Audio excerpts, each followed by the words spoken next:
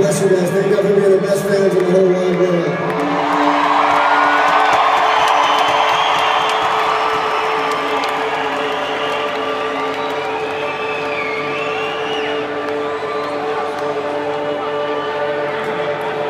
Thank